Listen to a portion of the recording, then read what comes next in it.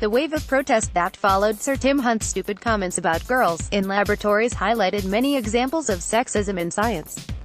One claim was that during the race to uncover the structure of DNA, Jim Watson and Francis Crick either stole Rosalind Franklin's data, or forgot to credit her.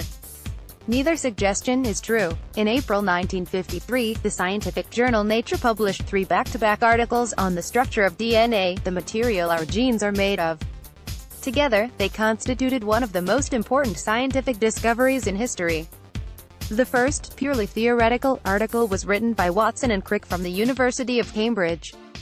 Immediately following this article were two data-rich papers by researchers from King's College London, one by Maurice Wilkins and two colleagues, the other by Franklin and a PhD student, Ray Gosling.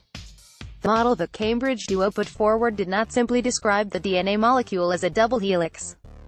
Was extremely precise, based on complex measurements of the angles formed by different chemical bonds, underpinned by some extremely powerful mathematics and based on interpretations that Crick had recently developed as part of his PhD thesis.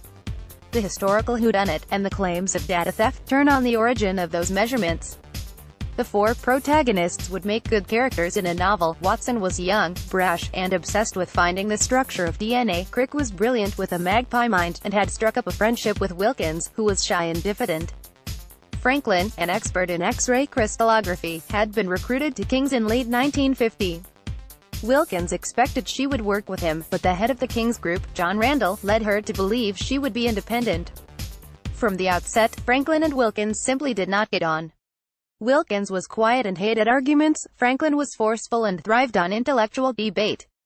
Her friend Norma Sutherland recalled, her manner was brusque and at times confrontational. She aroused quite a lot of hostility among the people she talked to, and she seemed quite insensitive to this.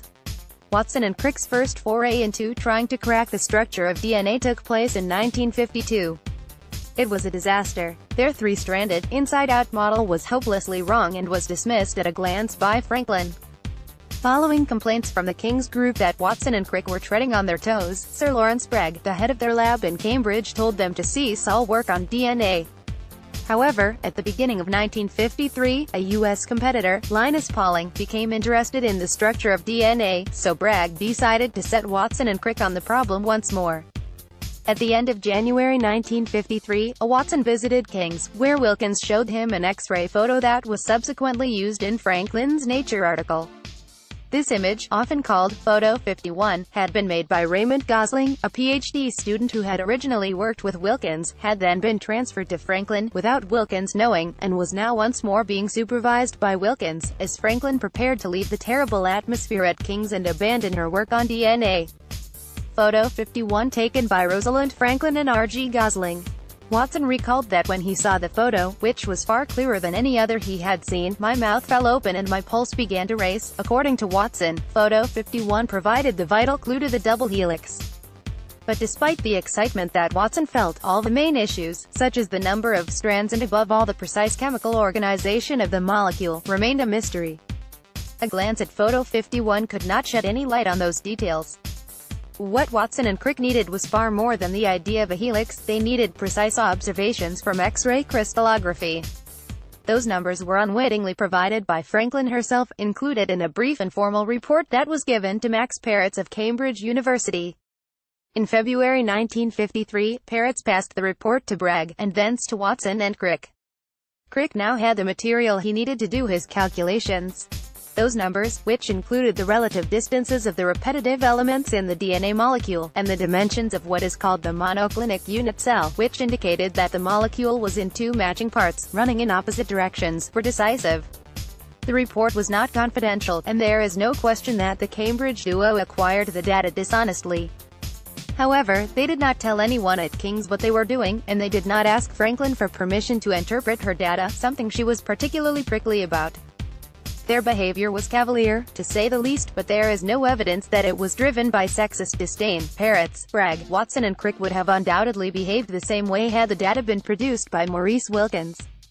Ironically, the data provided by Franklin to the MRC were virtually identical to those she presented at a small seminar in King's in autumn 1951, when Jim Watson was in the audience.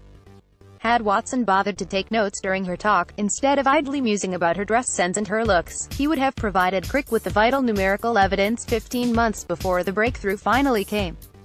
By chance, Franklin's data chimed completely with what Crick had been working on for months. The type of monoclinic unit cell found in DNA was also present in the horse hemoglobin he had been studying for his PhD. This meant that DNA was in two parts or chains, each matching the other. Crick's expertise explains why he quickly realized the significance of these facts, whereas it took Franklin months to get to the same point.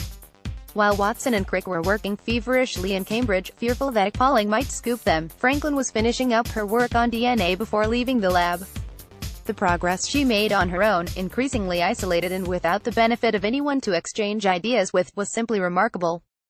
Franklin's laboratory notebooks reveal that she initially found it difficult to interpret the outcome of the complex mathematics. Like Crick, she was working with nothing more than a slide rule and a pencil, but by 24 February